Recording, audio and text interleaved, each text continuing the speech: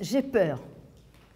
J'ai peur parce que euh, lorsqu'on écrit, c'est quand même assez facile parce qu'on relit, on relit, on relit. Et là, je vais essayer de faire passer deux ou trois choses extrêmement difficiles. Et il y a de quoi avoir peur parce qu'au niveau du tabou, je n'ai encore jamais trouvé un tabou aussi puissant que le tabou posé sur la croyance. Alors entendons-nous bien, quand je dis croyance, elle a été au cours du temps largement illustrée par des, des évocations d'être visible ou invisible, idole ou, ou livre, etc., etc. Mais la croyance, ce n'est pas forcément lié à une religion. Seulement, on va le voir, le fait religieux a imprimé le système de la croyance en nous. Alors, on va, y aller doucement. Alors, si je ne suis pas claire, parce que mon problème, c'est que je ne suis pas géniale, j'ai attendu pendant des années qu'une grosse tête prenne ce sujet euh, en main, en français et de façon euh, très claire. Aucune grosse tête l'a fait, donc euh, je me lance.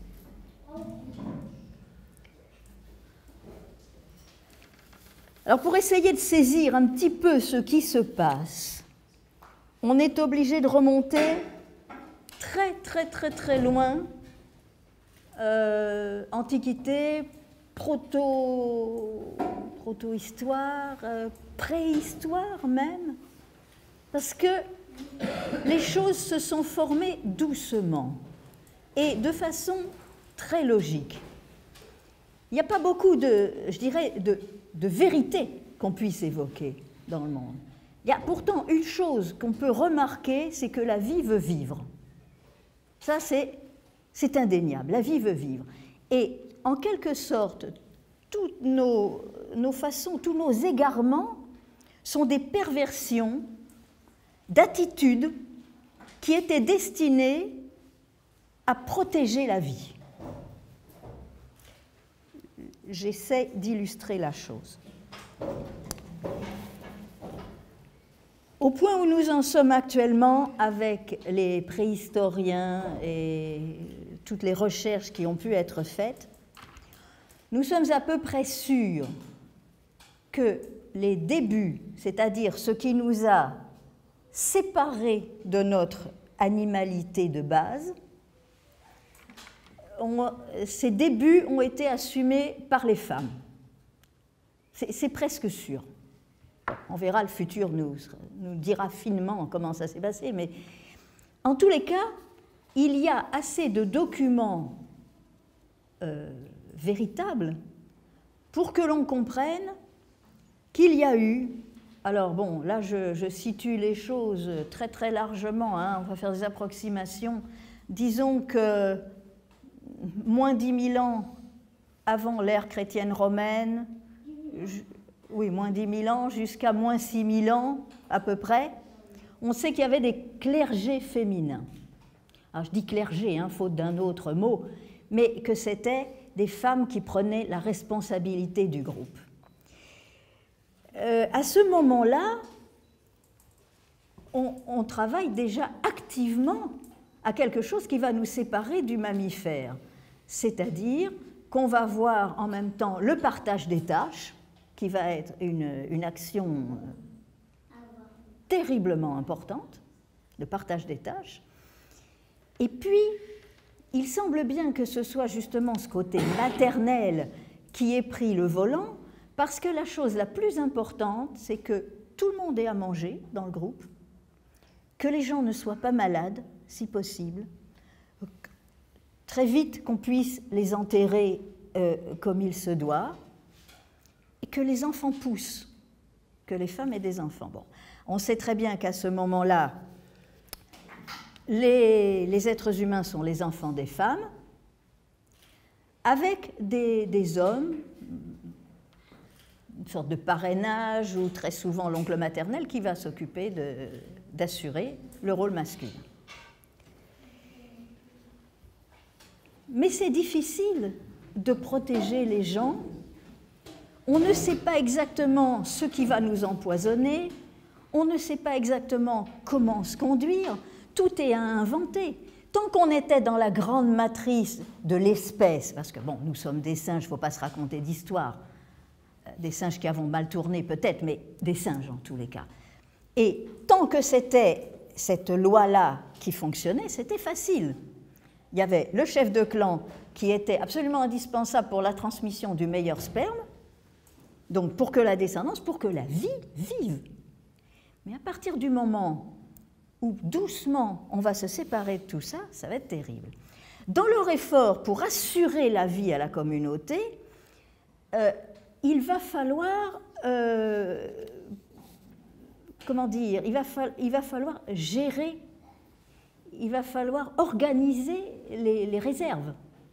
On sait très bien maintenant que euh, finalement la, lettre est venue avant le chiffre, mais que c'était quand même pour compter qu'on a commencé à faire des signes. Hein. Bon, je ne refais pas toute l'histoire, ce serait trop long, etc.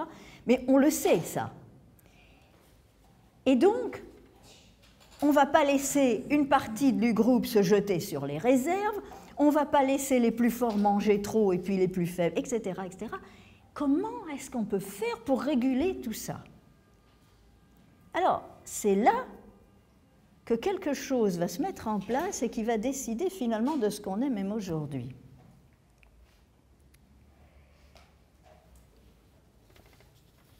On ne commence pas par la loi, parce que dans une communauté où tout le monde est comme ça ensemble, on ne peut pas dire euh, c'est toi, c'est etc.. Non, on ne commence pas par ça il semble que les femmes aient créé des histoires. Et créant des histoires, elles ont commencé à créer des interdits, des tabous. Par exemple, à telle période de l'année, tu ne touches pas cette plante. Euh, cette racine-là, tu ne la mangeras pas. Euh, telle chose, tu feras pas telle chose, tu feras pas telle chose, etc. Et par expérience, elles essayent de faire des histoires. Évidemment, on possède le langage articulé. Tous, les animaux ont des langages, hein, mais nous, on a le langage articulé. Et puis, on commence, à cause du fait qu'on est obligé de compter, on commence à avoir l'écriture. Ayant l'écriture, on va doucement vers la grammaire. Le, le clic qui va faire de nous des êtres humains séparés du reste, c'est la grammaire parce qu'on invente la troisième personne, c'est-à-dire ce qui n'est pas présent, et nous inventons les temps, la conjugaison. Avant la nuit, il s'est passé quelque chose. Mais la nuit est venue, et maintenant, c'est plus hier. Et je peux faire un plan pour savoir ce que je vais faire au moment où le soleil sera à cet endroit-là, etc., etc. Et donc, la grammaire nous fait définitivement humains. C'est très bien. Certainement que pendant des centaines d'années, on se rend compte de rien, on essaye juste d'apprendre, on essaye de se perfectionner, on essaye d'éviter les pièges euh, de cette condition nouvelle. Mais un jour, des jours, qui vont durer certainement des milliers d'années, eh bien, on va prendre conscience qu'on s'est séparé de la loi de la nature. Alors jusqu'à présent, c'était, jusque-là, c'était relativement simple et on s'en remettait finalement pas seulement à aimer les ancêtres, les enterrer et tout, mais à une entité euh, féminine, puisqu'on voyait bien que c'était les femmes qui accouchaient. Donc, ce qui nous permettait de vivre, ça ne pouvait être que féminin c'était la vie. Et donc, cette grande super-mère, toutes les légendes les, plus, les plus reculées et celles qu'on peut reconstituer seulement actuellement, parce qu'on n'en est pas encore à l'histoire écrite, hein. on n'écrit pas encore l'histoire, mais on sait d'après les statuettes, on sait d'après les signes rupestres, etc., etc., on sait que finalement c'était ça le plus important mettre au monde. Et on sent qu'on se sépare de la loi de la vie. On n'a pas comme les oiseaux, on n'a pas dans la tête le moment où il faut émigrer, tous ensemble. On n'a pas la, comment dire, la matrice qui nous lie, on est en train d'en sortir. Pourquoi? Parce qu'il y a ce partage des tâches. Et là, qu'est-ce qui va se passer avec le partage des tâches? C'est l'individu qui naît. D'accord, l'individu naît. Oui, mais il faut gérer tout ça. Et donc, pour la survie, il va falloir perfectionner l'apprentissage.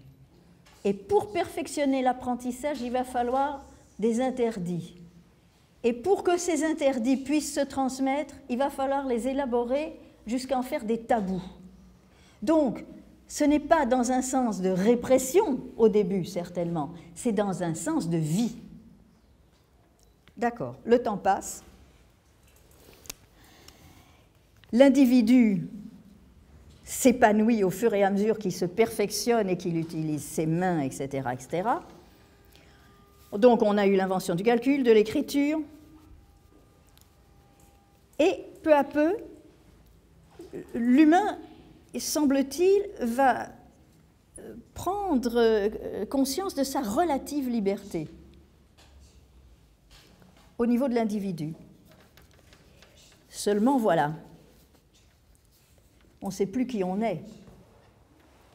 Et l'horreur d'être sorti de la grande loi de la nature, ça a dû être un traumatisme euh, épouvantable, comme les, grandes catastrophes naturelles.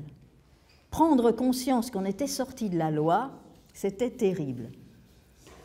Euh, à tort ou à raison, à force de chercher dans tous les petites pages, dans toutes les partout, il me semble que c'est à ce moment-là qu'est née l'invention du péché.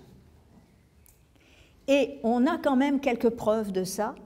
C'est que euh, dans l'Antiquité, alors là, euh, j'avance l'histoire hein, très fort, que ce soit chez les Égyptiens, que ce soit chez les Sumériens, pour se présenter au temple devant la grande mère, devant la grande déité, ou même devant le roi et la reine, on se déshabillait complètement. On se mettait nu. Et ça va tout à fait dans ce sens-là. Ça veut dire, je n'ai pas l'orgueil d'être sorti de la nature. Je suis toujours ta fille ou ton fils. Je suis toujours là. Regarde-moi, je suis pur. Je suis vraiment de cette nature, de ce monde-là. Voilà. Seulement, ça pose problème, ça aussi. Hein. ça pose problème. Donc, invention du péché. Seulement, il fallait survivre. Fallait survivre. Et tout ça, tout ce que je, sème comme ça, c'est des choses qui ont duré des centaines, des milliers d'années, avec le malaise inhérent, avec la douleur de se découvrir aussi. Et alors là, coup de génie, on invente le fusible. Qu'est-ce que c'est le fusible à cette époque-là? Eh bien, c'est l'invention d'un être invisible, féminin, masculin, peu importe, des êtres invisibles, au départ peut-être même qui rappelle les ancêtres, et qui, lui, va se charger d'une autre interdiction, l'interdiction contraire, c'est-à-dire, vous ne pouvez pas retourner à l'animalité, sinon vous êtes en état de péché. Donc, l'être humain a eu le génie, bon, c'est à des grands psychologues qu'il faudrait s'adresser, à des, parce qu'eux eux comprendraient très bien cette chose-là. L'être humain a eu le génie de retourner sa situation et que le péché, ça ne soit plus d'être sorti de la nature, mais de vouloir y retourner. Mais ça, il ne pouvait pas le décider tout seul. Donc, on invente une superstructure mentale qui fait que, voilà, on est tout à fait en droit de ne plus retourner à la nature et de s'inventer humain. Ça a été un choc euh, formidable. D'accord. Mais pourtant, il semble bien qu'encore euh, encore très longtemps, les histoires féminines, les clergés féminins, euh, la mise à mort des rois pour ne pas qu'ils gardent la main sur la tribu, etc. Le sacrifice humain, c'était pas très gai, hein, mais ça, ça existait, on le sait. Donc, tout ça existe. Mais brutalement, quelque chose d'autre va se passer. Quelque chose d'autre va se passer. Euh, on est donc, on a pris cette idée, on a pris cette idée qu'on était quelque part en droit de devenir humain. Mais on ne sait plus très bien comment marcher, on ne sait plus très bien comment faire. Et il faut quand même que la communauté avance. Et alors là, il semble, je, ne suis pas d'accord avec ceux qui disent que ce sont les hommes contre les femmes, je crois, je crois, je pense, je pense que c'est une partie, un peu partout, et ça commence très fort chez les Sumériens, une partie de la société qui va essayer autre chose, c'est-à-dire de se lancer, d'être responsable de soi, etc. etc. Alors, euh, c'est l'époque où on est à peu près en 2000 quelque chose, 2500 et trucs. Euh, la première histoire écrite qui nous est parvenue aujourd'hui euh, se déroule mais n'est pas encore écrite. Elle ne sera écrite qu'environ 1750 ans avant Jésus-Christ. C'est l'histoire de Jamesh, le cinquième roi d'Uruk, la pauvre ville de Raqqa aujourd'hui en Irak. La première grande ville du monde euh, à notre connaissance actuelle. Hein. Et là, euh, quelque chose va, va éclater. On raconte que ce, roi euh, n'a pas du tout envie d'être sacrifié. En plus de ça, il veut organiser la ville. il, il, a des sentiments quelque peu belliqueux vis-à-vis des voisins, alors que lorsque c'était les femmes qui dirigeaient, c'était pas belliqueux et il n'y avait pas de culte de la personnalité. Elles n'ont laissé aucun nom, toutes ces prêtresses. C'était autre chose. Mais là, maintenant, c'est un homme. Et en fait, c'est certainement le premier qui va agir comme un roi et qui nous raconte l'histoire de la prise de pouvoir. Alors, ça va être une, ça va être une révolution euh, sanglante, hein, et on va, euh, on va tuer la, la, responsable, la grande prêtresse à ce moment-là, Pourquoi? Parce qu'on a besoin des cèdres. Et que la loi de la, grande déesse, la déesse, c'est qu'on ne coupe pas les arbres, on n'arrache pas les arbres. C'est donc, là, il faut braver un interdit. oui, il veut couper les arbres, par exemple. Et donc, ça va donner lieu à une, révolution terrible. Et une, chercheuse, euh, Françoise Gange, a photographié ce moment-là en étudiant cette histoire-là dans toutes ses versions, parce que l'histoire de, Jelly Jamesh a été racontée sur tout un temps, on a retrouvé ces histoires, hein. on a retrouvé ces histoires, et à chaque fois, on se rend compte de la dégringolade et de la façon de falsifier l'histoire pour que s'écroule tout ce qui était féminin. C'est assez impressionnant. Par exemple, il y a un moment dans l'histoire où il assassine la grande prêtresse. Et dans les versions qui suivent, et même dans la première version, on sent que ça a été trafiqué le texte parce que ça correspond plus et tout. Euh, on ne dira pas qu'il assassine la grande prêtresse, on va dire qu'il a affaire à un grand monstre défenseur de la forêt de cèdre.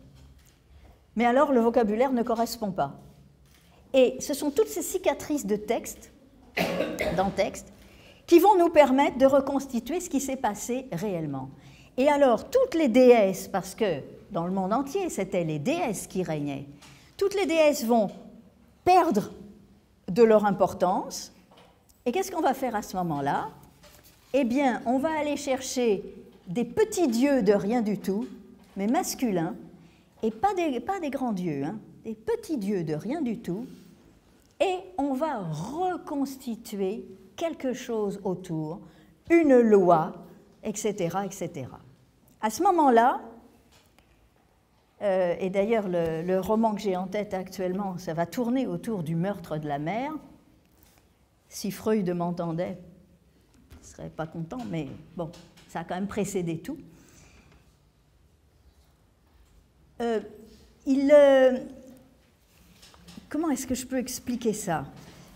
Euh, il, faut, il faut que des lois se refassent. Mais alors maintenant, ce n'est plus, on vient plus de la nature, mais les histoires vont se faire avec des créateurs masculins qui auront besoin de l'ovaire ou de la matrice féminine et qui vont tuer ou ouvrir l'ovaire, etc., etc. Et un peu dans, les, dans tous les groupes humains, on va retrouver ça.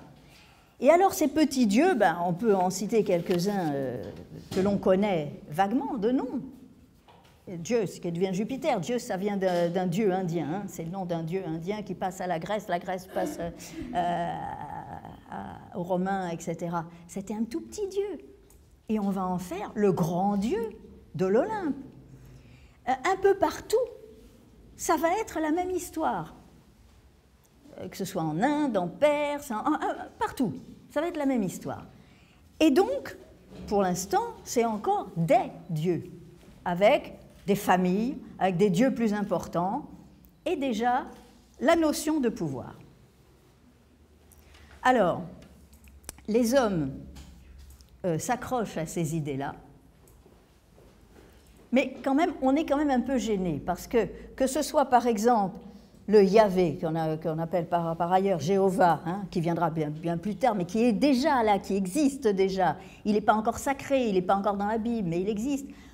il s'appelle, on dit Yahvé ou, Jéhovah, ça veut dire, euh, pour les sémites, Yahouah, oh lui. On ne le nomme pas parce qu'on est encore mal à l'aise. Ça va être exactement la même chose pour ce grand dieu sémite qui va prendre la place de la grande déesse, le dieu El.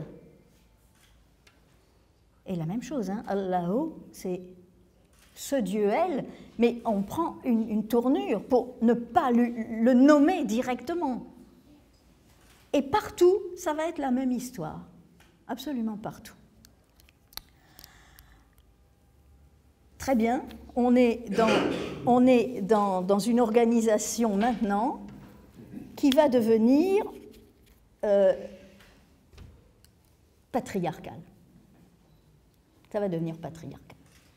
Alors pour, contrôler la nature, ben, évidemment, il faut contrôler son effet le plus direct pour l'être humain, c'est-à-dire les femmes, c'est-à-dire la procréation obligatoirement.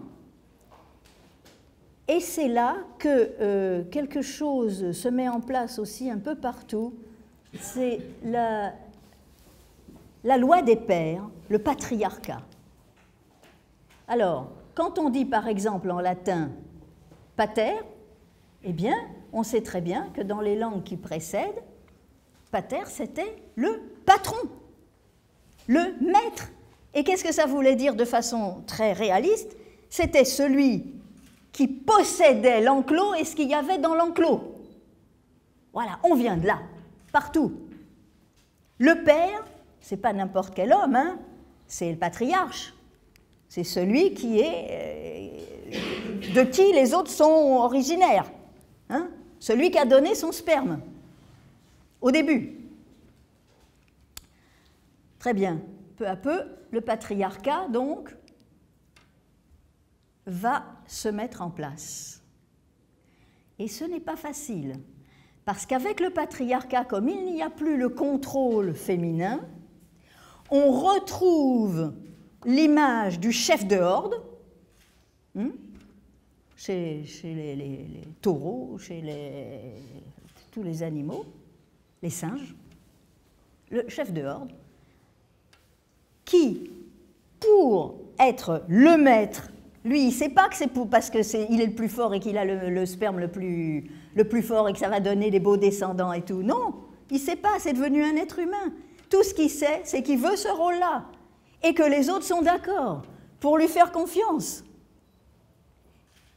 Donc, rivalité, possessivité et thésaurisation, c'est-à-dire que comme l'être humain, comme tout singe qui se respecte, est un, animal euh, euh, qui, doit faire des réserves, etc., euh, etc., ben voilà, les biens. On va, ramasser des biens pour la, tribu, on va, on va les garder, on a appris à compter, on fait des réserves, etc., etc. Le monde avance. Patriarcat est né. À la base de ce patriarcat, ce qui était, est-ce qu'on peut appeler ça religieux euh, avec le culte de la vie avec le culte de la Grande-Mère, c'était, pas religieux comme on peut l'entendre. Euh, mais là, ça va devenir, ça va devenir religieux. Et il va falloir inventer des fables qui, cette fois-ci, vont être des fables au service du patriarcat, pour que le monde fonctionne. Donc vous voyez par là où nous sommes passés? Et c'est là, probablement, euh, qu'on va se servir des croyances. Parce que jusqu'à présent, on le disait, la croyance, ben, c'était de dire, c'était surtout de placer des interdits. Mais on va développer, donc développer ce qui existait petitement. On va, la croyance en des êtres invisibles. On ne les voit pas, mais on va dire que ça existe. Et c'est donc toutes les grandes histoires religieuses, euh, qui, vont être, euh, qui vont être mises à l'honneur. Alors, on a dit d'abord polythéiste, et puis doucement, doucement, doucement, il y a tellement de, de dieux que ça devient difficile.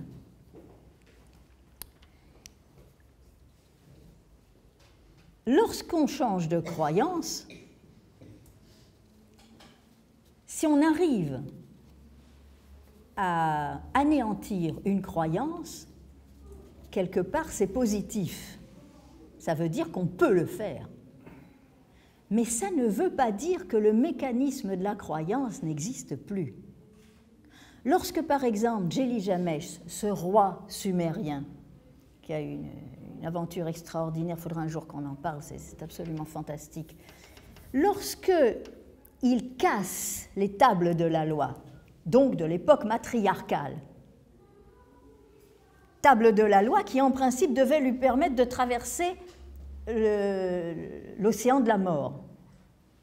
On dirait maintenant l'angoisse. Hein. Il a fait quelque chose d'énorme au niveau de la libération. Oui, mais il va imposer un culte solaire.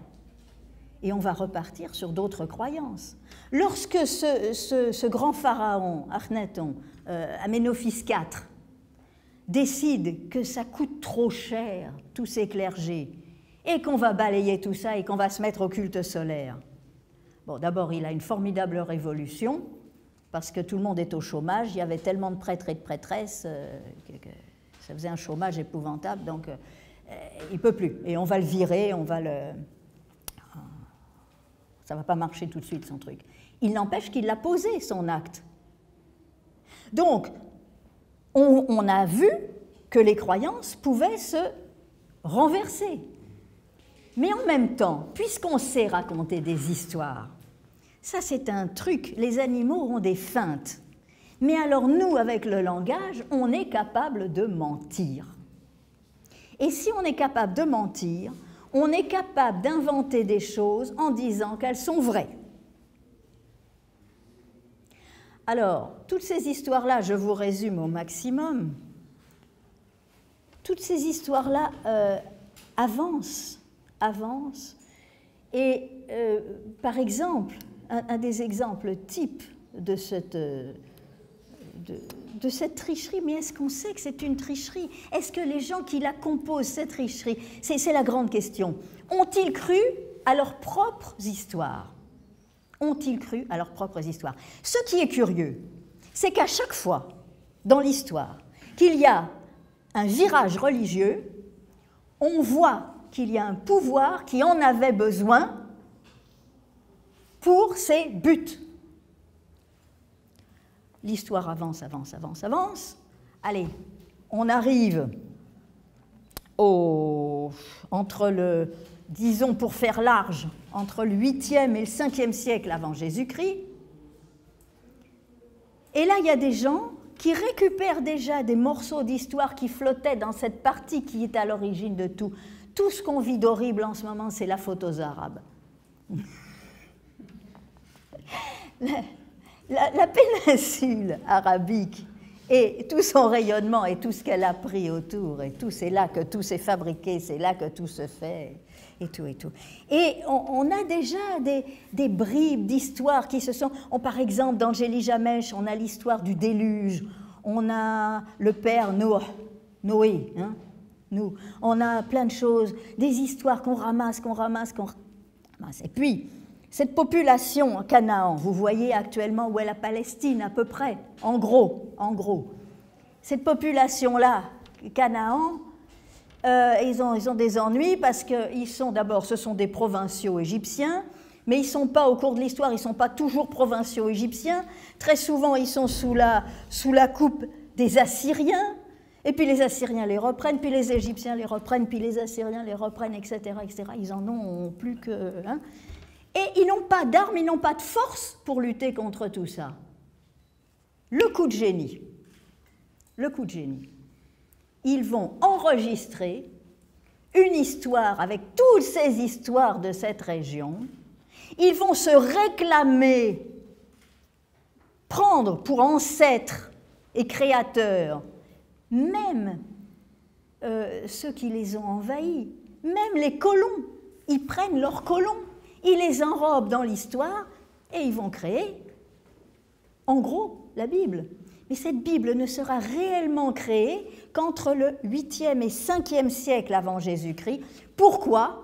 Parce que politiquement, il est indispensable d'exister. Et ils ont réussi leur coup, puisqu'aujourd'hui, même encore maintenant, la plupart des, humains sur la Terre, enfin sauf le monde asiatique, et encore, il y en a plein qui sont dépendants de ça, on a encore ce qu'on appelle la Bible. Et tout ce qui viendra après. Ils ont réussi leur coup. Ils ont enregistré des histoires qui venaient de partout. Ils, leur ont donné une cohérence et ils ont relié toutes ces histoires à ce Dieu masculin hmm, qu'ils avaient élu. Au début de la Bible, il n'est pas encore tout seul. Hein. Quand vous faites bien attention et que vous lisez bien, il n'est pas encore tout seul, le Dieu de la Bible. Il a encore, une femme, enfin une parèdre, il a encore des dieux, etc. Mais on dit qu'il est le meilleur des dieux. Et de sa situation de meilleur des dieux, il va peu à peu passer à, la situation de Dieu, Dieu des peuples, et de sa situation de Dieu des peuples, il va passer à cette situation particulière de Dieu de chaque être humain. Et ça, c'est aussi intéressant parce qu'on voit que l'histoire du partage des tâches euh, a continué de marcher très loin dans l'inconnu ça fonctionne. Je vais très vite, hein, si euh, on verra après, c'est difficile de suivre. Rassurez-vous, dans le petit bouquin, euh, c'est beaucoup plus détaillé. Hein.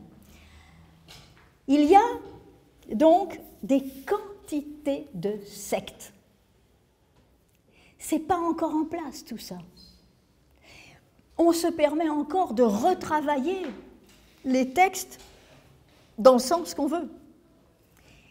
Et au milieu de ces sectes, il y a une secte euh, qui au départ n'est pas beaucoup plus importante que les autres, hein, une secte euh, euh, qui vient de, cette histoire juive, hein, puisque la Bible c'est des, Cananéens, il y avait Israël d'un côté, il y avait Juda, ils se sont fait la guerre et tout et tout. Mais en fin de compte, ce qui nous arrive à nous, tout ça c'est très très mélangé, on dit juif. Bon, d'accord.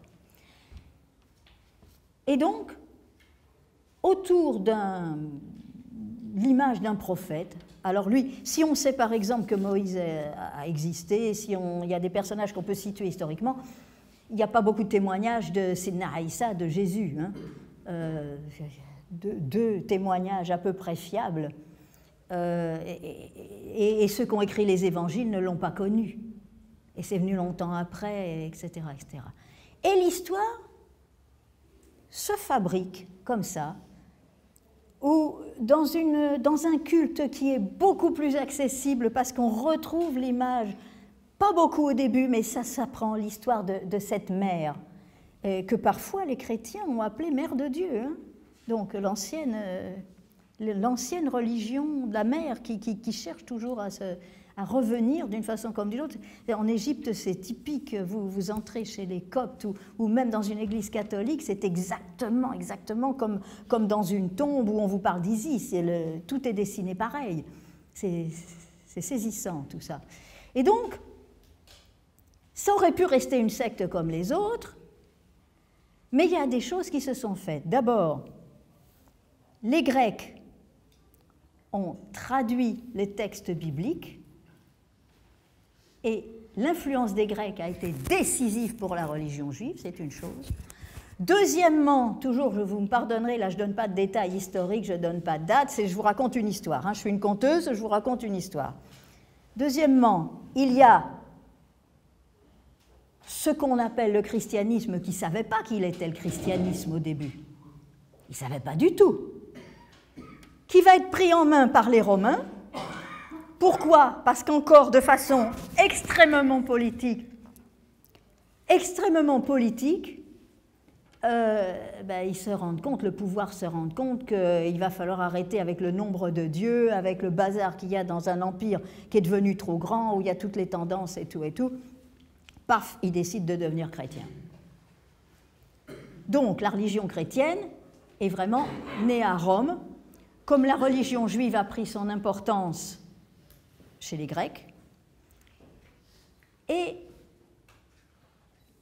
à ce moment-là, on va, discuter finalement de, de détails sur ces êtres invisibles. C'est assez saisissant ce qui se passe.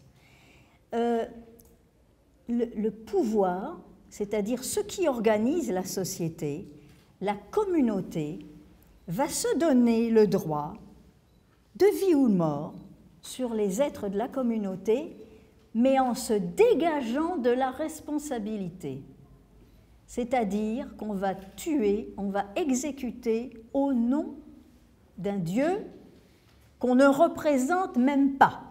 Parce que même chez les chrétiens, quand ils vous parlent du Père, du Fils, du Saint-Esprit et qu'ils prennent un, pauvre malheureux, là, euh, bon, il n'était certainement pas crucifié comme ça, parce que pour, pour la faute qu'on lui reprochait, ce n'était pas la crucifixion, c'était la lapidation à l'époque. Mais bon, la légende monte. Et on, va donc, on va donc communautariser terriblement. Chaque communauté va décider. On n'est plus maintenant dans des histoires de Dieu, moi je crois à ce Dieu et tout, parce qu'à l'époque du polythéisme, quand on se fâchait contre un Dieu, bah, il n'avait pas tenu sa promesse. Hein. Eh bien, on lui faisait une scène, on allait l'injurier, en général, et puis on disait, bon, bah, je, passe à, un autre Dieu. Mais là, avec l'histoire donc du Dieu qui devient unique, qui s'est débarrassé de tout le reste au cours de l'histoire, on ne peut plus faire ça. Donc, il faut bien trouver la volonté divine. Alors, il faut, euh, et ça c'est très bien dit dans une, partie que je n'évoquerai pas de ce petit livre, on a un, auteur tunisien, Mondasfar, qui a écrit euh, euh, le Coran, la Bible et l'Orient ancien.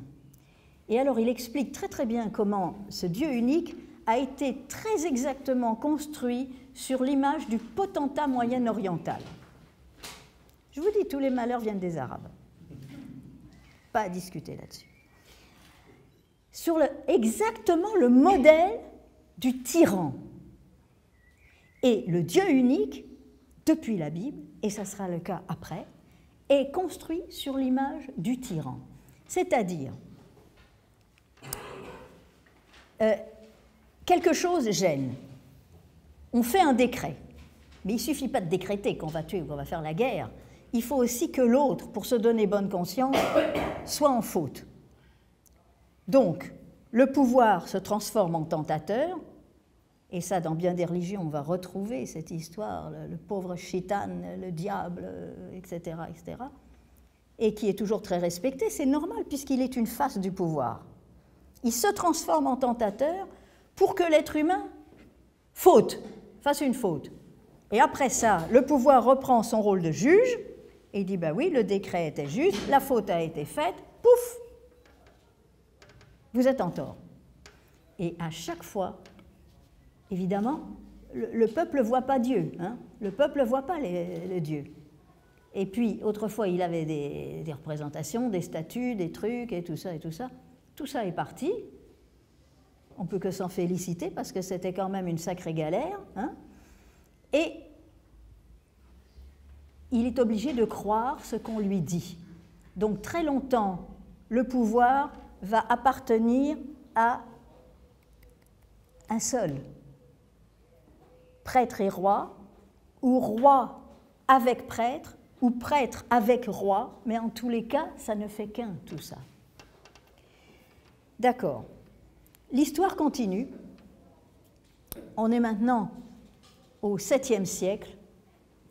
Euh, le monde arabe a généré les bases d'une civilisation qui va se répandre partout, mais on est quand même très à l'étroit. Euh, on écoute quand même, euh, on est, on est polythéiste, on écoute quand même les monothéistes juifs, on écoute la secte qui n'est pas encore chrétienne mais qui est judéo-chrétienne, on les écoute, etc. etc. Mais on n'a pas l'impression vraiment euh, d'être soi-même parce que au niveau de, de la vie sociale, euh, d'abord ça n'a pas été rédigé en arabe, hmm. euh, il manque quelque chose. Il manque quelque chose. Et puis, il faut qu'économiquement, on puisse se développer. Alors, toute la vieille aristocratie qui était responsable à la Mecque du pèlerinage, etc., etc., il va falloir lui régler son compte à cette aristocratie et mettre un nouveau pouvoir. Mais on reste, on déiste, hein. on ne met pas en question l'idée de Dieu, on continue. Eh bien, cette, cette révolution va se faire avec à sa tête quelqu'un qui avait été éjecté du pouvoir, mais qui était de la famille régnante. Hein. le prophète Mohammed était bien quelqu'un de la famille qui régnait à la Mecque. Et euh, contrairement à ce qu'on dit, ben, on a dit exactement la même chose du, prophète Aïssa, donc de Jésus, on veut le faire passer pour un illettré, pour quelqu'un qui ne sait rien du tout.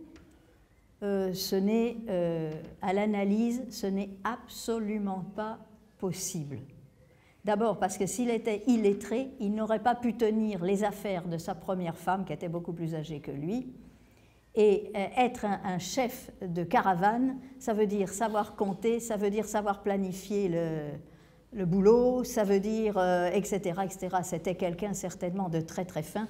Et on l'a vu après, de par sa conduite militaire et politique, c'était quelqu'un d'extrêmement doué, d'extrêmement intelligent.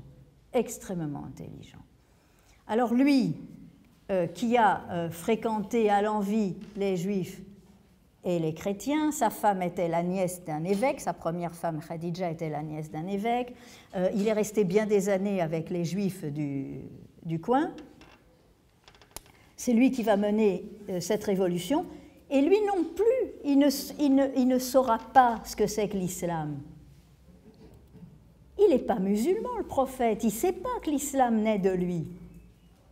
Tout ce qu'il essaye de faire, c'est d'instaurer un certain nombre de choses et de lois pour que sa communauté fonctionne à moindre mal. Voilà. Et avec tout ça, on est toujours dans des... Alors bon, il y a les Perses qui, de leur côté, ont aussi un monothéisme. Hein. Il y a euh, des influences qui viennent de Grèce, qui viennent des Indes, qui viennent de partout. Et on se construit donc un monde qui va être... Euh, qui va tourner autour du communautarisme religieux. Il n'y a aucun essai, euh, les, sectes et les religions vont les unes après les autres, mais euh, en théorie, elles ne s'attaquent pas. Les pouvoirs qui les utilisent vont s'attaquer, mais les religions ne s'attaquent pas. Elles se fortifient au contraire les unes les autres. On peut dire que dans la démarche de l'islam, il y a eu une sorte de fortification des religions qui les entouraient. Bon, l'histoire va continuer comme ça. Et ce qui est, euh, très important est que euh, Ali Khader signalé euh, dans sa préface, euh, c'est qu'une religion n'est pas seulement l'adoration d'un personnage ou d'un dieu visible, idole, symbole ou invisible, mais aussi et surtout une collection de règlements et de lois très strictes qui gèrent les différentes relations à l'intérieur de la communauté et les rapports sociaux avec les autres communautés. Et j'ajouterai quelque chose, c'est en général ce qui nous permet d'avoir des rapports marchands. Marchands au sens de commerce, commerce, et puis au sens de commerce des idées. Il ajoute, la croyance est un acte d'engagement et de sacrifice à l'égard de la religion et de la communauté qui fait exister cette religion. C'est pour cela que la relation entre le croyant et sa religion est inégale.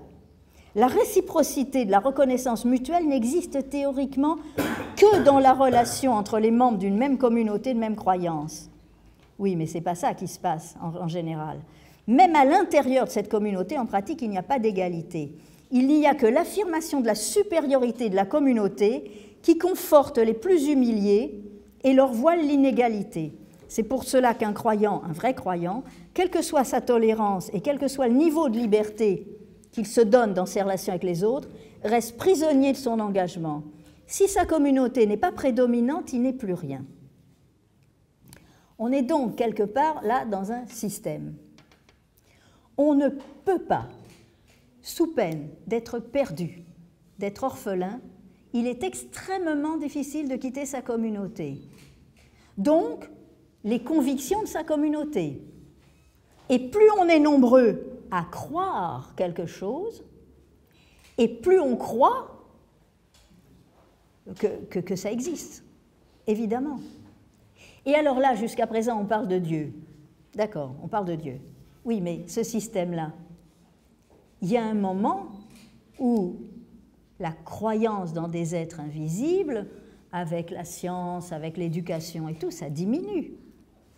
Et alors, j'ai noté un truc. Actuellement, les croyances religieuses peuvent décliner. Pourquoi? Ça ne veut pas dire que la croyance décline. Hein. Elles peuvent décliner parce que le système médiatique prend la relève. Nous avons été, depuis des milliers d'années, fabriqués à croire. Et pas à croire n'importe qui, n'importe quoi. À croire ce qui détient le pouvoir. À croire ce, que croit le plus autour de nous. Si vous vous essayez de vous mettre euh, euh, intérieurement devant, euh, devant un, programme de télévision, qu'est-ce que fait la télévision? Elle dit tout. Elle dit ce qui est bon, ce qui n'est pas bon, ce qu'on croit avoir découvert. elle dit comment il faut s'habiller, elle dit comment il faut trouver une compagne ou un compagnon, euh, comment doit être la voiture, comment on va élever les enfants? Elle dit tout, la télé. Internet, c'est tout. Dit tout. On croit. On croit. On croit. Euh, je, me permets une plaisanterie avec le vers de, Prévert qui disait il y a ceux qui croient, euh, ceux qui croient croire, et puis ceux qui croient croient. C'est le cri du corbeau. Et c'est vrai que nous sommes perdus. Et c'est vrai que pour se libérer de la croyance qu'utilisent les pouvoirs autant que peut se faire, euh, regardez comment les, les, fascismes sont montés. Regardez aujourd'hui des groupes fascistes musulmans, comment on les monte. Mais sur du rien. Sur, alors si, bien sûr, il y a les éléments de la croyance, c'est-à-dire ce qui, ce qui vient renforcer, c'est-à-dire la punition, si on veut sortir de cette croyance, la malédiction, si on sort de cette croyance, et des visions, des visions sur des choses que personne, absolument personne, n'a pu vérifier. C'est-à-dire des histoires d'enfer pour des gens qui sont encore euh, attention, hein, ce n'est pas tous les musulmans qui, croient à, des visions très naïves de l'enfer. Hein.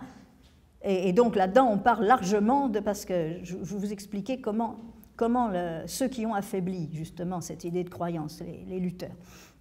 Mais pour l'instant, on est là, on est exactement là-dedans, on croit. On croit. On est prêt à croire le pire des débiles. Vous savez bien qu'on en a actuellement qui dirigent le monde. Hein des débiles, des gens sans intelligence. Mais on croit. Parce qu'on se dit, si on sort de cette croyance, si on arrête de penser que les plus forts ont raison, on fait quoi? On va où? Alors, dans ce petit livre, chose, je, vais à la hache, hein, pardon, mais je ne vais pas prendre euh, toute la vie pour dire ça. Dans, cette... Euh,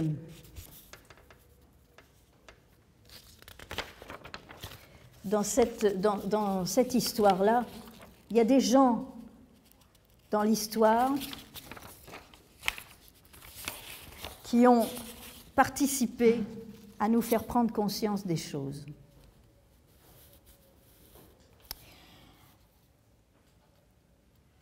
Donc, au cours de l'évolution de, la culture arabe, il s'est passé des choses vraiment intéressantes. D'abord, les savants, les médecins, les mathématiciens, euh, ceux qui étudiaient les astres, etc., etc., et qui voyaient bien que ce qui était dit de façon si naïve et si simple, ça ne pouvait pas vraiment coller. Par exemple, actuellement, quand je relis dans le Coran la description du paradis, eh ben c'est clair que la société occidentale, ça vaut mille paradis.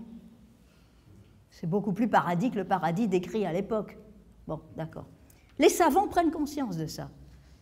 Mais quelque chose va les, arrêter, euh,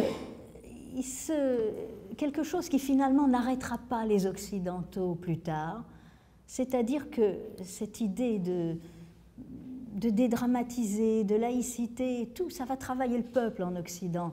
Chez les Arabes, non, les savants vont penser qu'il ne faut pas donner ça au peuple, que ce n'est pas possible, qu'ils ne vont pas comprendre. Ça, c'est une gaffe énorme qui a été faite euh, dans l'histoire. Donc, ils vont dire des choses, mais ils ne remettent rien en question au niveau de la croyance. Alors on a les poètes, et alors là, euh, les poètes arabes, je, parle, je pars à partir du, allez, disons, bah, euh, il y en a déjà à l'époque, il y en a déjà à l'époque du prophète Mohammed, hein, 7e siècle, etc.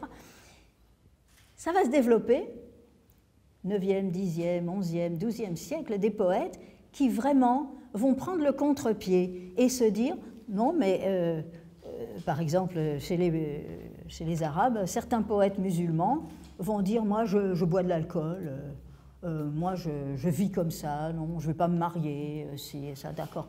Mais ils ne changent rien. Et ils ne proposent rien aux gens.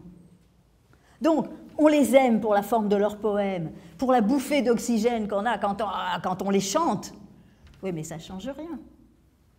Alors ceux, par contre, qui vont avoir une action, mais alors une action décisive sur cette, histoire de croyance, ce sont les, des musulmans. Et ce sont ceux qu'on va appeler, pas tous, hein, parce qu'il y a le pire chez eux aussi, les soufis. Parce que là, certains mouvements soufis sont terribles, hein. mais les grands soufis de l'histoire. Alors je résume, je résume aucun soufi ne, va dire Dieu n'existe pas. Jamais. Euh, il n'y aura pas d'athéisme dans le monde arabe. Par contre, depuis toujours, et depuis avant l'islam, et depuis avant la Bible, chez les sémites et tout, le terme de, de non-croyant existe. Les soufis ne vont pas dire qu'ils sont non-croyants ils vont faire quelque chose, mais intérieurement, de tellement révolutionnaire euh, que, que les gens auront du mal à les suivre. Voilà à peu près ce qu'ils disent. Si l'on pense qu'il y a une intelligence, que certains appellent Dieu, qui est à l'origine de tout, et ils soulignent bien que l'intelligence n'est pas en nous, mais que nous sommes dans l'intelligence, cette intelligence-là, n'a pas de limite, n'a pas de frontières. Aucun d'entre nous ne peut se situer à l'intérieur ou à l'extérieur. Nous sommes dans l'intelligence. Ça signifie quoi? Ça signifie que si cette intelligence représente le tout, on ne peut pas inventer, suivez-moi bien parce que je sais que c'est difficile, hein, on ne peut pas inventer une sacralité fractionnée dans le sacré global total. Rien ne peut être plus absolu si l'on est dans l'absolu. Ça, c'est une démarche de musulman. Ce n'est pas une démarche d'athée. Et donc, on ne peut pas adorer, avoir d'idole, même s'il s'agit d'un livre ou d'une écriture. C'est pas possible, puisqu'on est dedans. Ah, et vous avez des. Alors je cite dans, ce livre, là, j'arrive pas à vous dire tout, mais vous avez des gens, comme par exemple Omar Khayyam, qui, qui appartient à la culture arabe, qui est euh, perse d'origine, etc., qui, euh, qui dépeint les choses. Et il, il reconnaît, il reconnaît dans la cruche du potier, il reconnaît ceux qui ont vécu.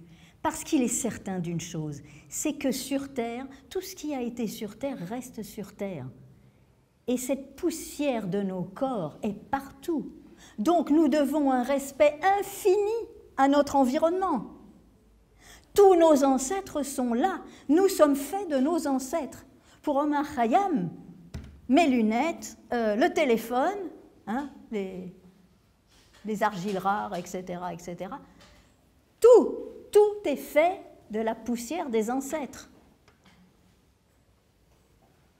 Donc, dans, ce que fait le potier, il reconnaît, un moment, il reconnaît son, père, et, à un autre moment, euh, une cruche, il te dit, ben, cette cruche, un jour peut-être, a été l'amant qui enlaçait un coup.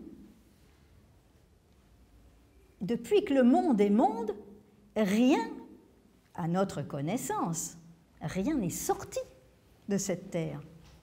Nous sommes donc, même les légumes que nous mangeons, nous sommes donc en train de remanger continuellement ceux qui ont vécu. Au niveau de la pensée, ça c'est très matérialiste, hein, mais il fallait le sortir quand même. À l'époque de Mahari, c'est le Xe siècle, comme ça, Xe siècle, vous vous imaginez. Au niveau de la pensée, c'est la même chose. L'être humain ne fait que copier constamment tout ce qu'il peut trouver partout. Et la pensée circule partout, partout, partout, partout, partout. Et nous sommes évidemment les enfants de ceux qui ont pensé avant nous. Et nous sommes tenus d'apporter aussi ce que nous pouvons pour ceux qui viendront après. Voilà comment un musulman aborde ce que j'ose appeler les premières pierres du matérialisme. C'est ça. Si le respect qu'on se doit les uns aux autres il explique très clairement que c'est une question de survie. Et tous ces, grands penseurs arabes qui sont dans ce livre, finalement, ne vont dire que la même chose. Et ils vont dire, on n'est pas tenu de croire. Quand on va au marché et qu'on nous dit, ça, je te jure que ça, c'est comme ça, c'est comme ça, c'est comme ça, ben, il vaut quand même mieux avoir des repères et des gens qui s'y connaissent ou bien connaître la question avant d'acheter. On ne ferme pas les yeux comme ça pour acheter. Voilà ce que disent les Arabes au cours de l'histoire. Ils disent, ça suffit ces histoires de se laisser berner et de croire et de croire. Et là, on en vient à une autre forme de spiritualité. Et ce que j'appellerais spiritualité, c'est très exactement en français ce que ça veut dire, la vie de l'esprit. Les mystiques musulmans accusent les religions de manquer de spiritualité. Et souvent, c'est vrai. Seulement, dans toutes les religions, il y a, eu toujours des, gens, des génies qui, qui, ont été plus loin, qui ont cherché, qui ont, qui ont cassé les, les frontières hein, et les choses. Et c'est grâce à cela que l'homme reste l'homme aussi. Hein. Mais ces gens-là vont extrêmement loin. Ils expliquent que la morale est une, une sécrétion humaine on retrouvera des penseurs plus loin, Feuerbach et compagnie, on retrouvera des penseurs occidentaux pour le dire. La pensée est une sécrétion humaine, une sécrétion logique. Et si cette pensée est une sécrétion humaine, on lui doit le respect, on doit continuer. Alors, on n'a pas besoin d'être terrorisé pour savoir qu'il ne faut pas tuer son prochain.